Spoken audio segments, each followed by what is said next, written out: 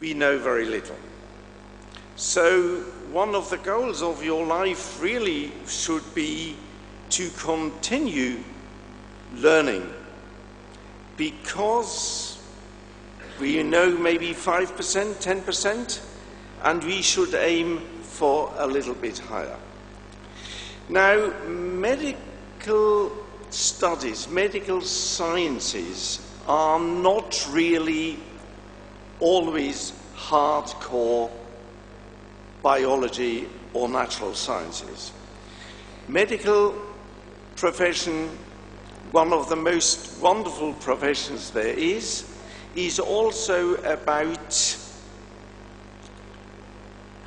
feeling how things work and what is wrong with the patient. So the nose, the ears, the heart, the soul all play a major role. And of course, that part is much less science than we very often like to think.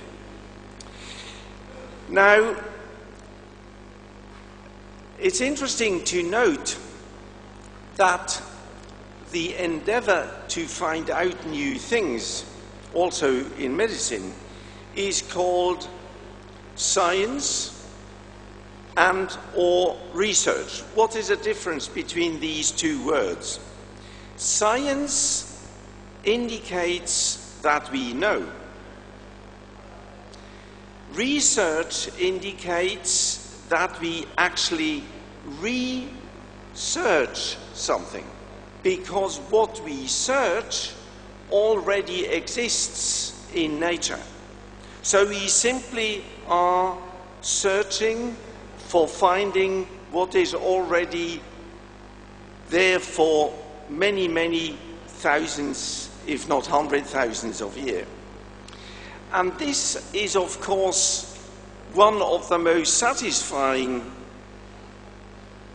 activities to learn how things function, to learn why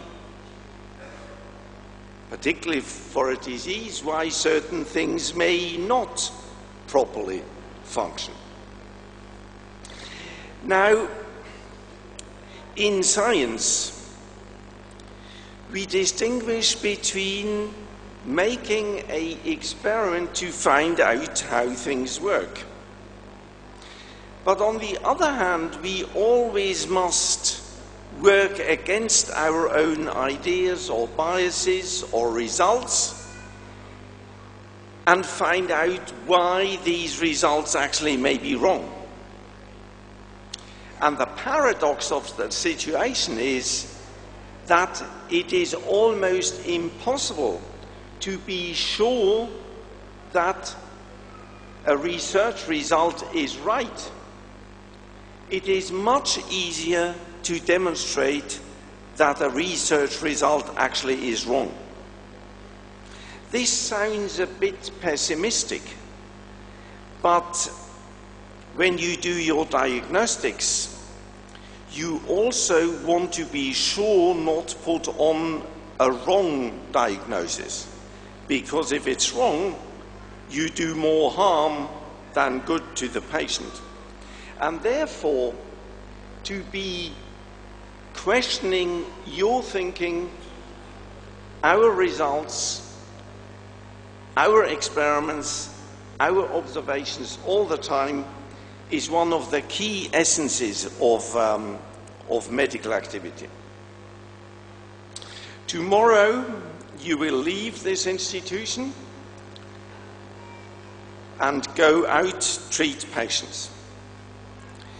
Remember that science, of course, is important to remember, to know what new therapies, what new pathways of disease have been discovered, but also remember, despite all the science and despite all your knowledge, there is one thing that always is correct.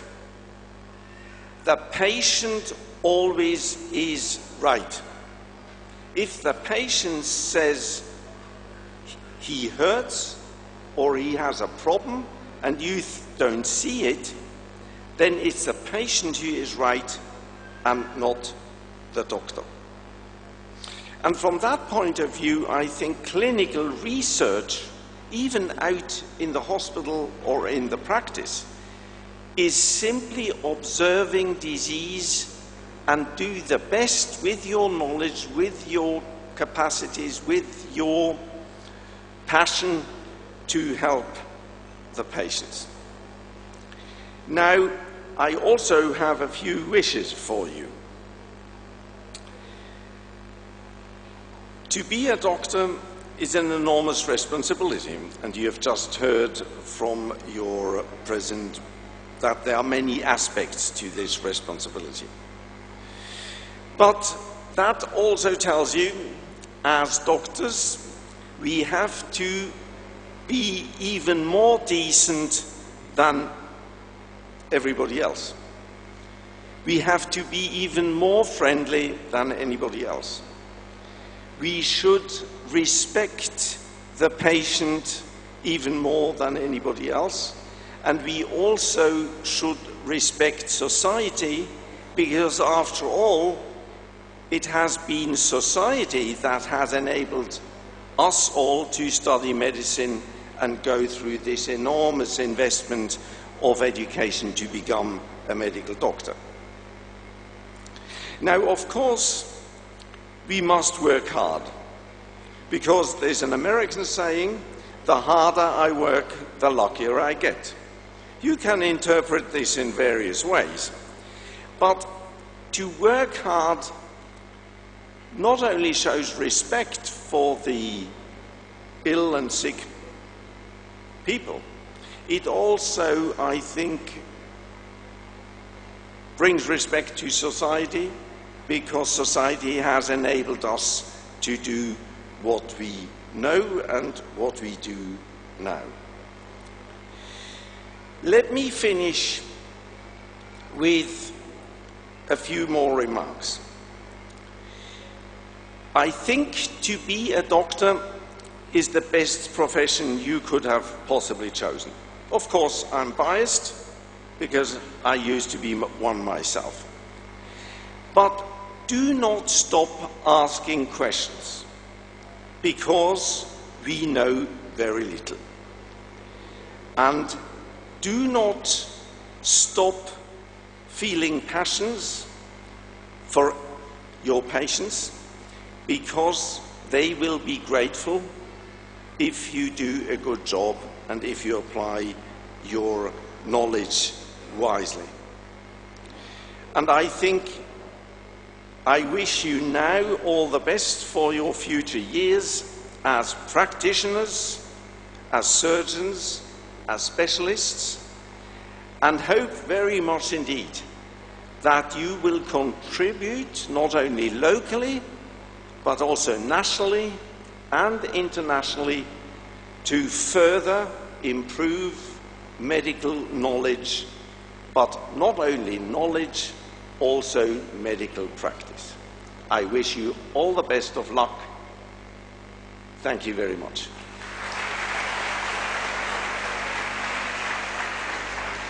Thank you, sir.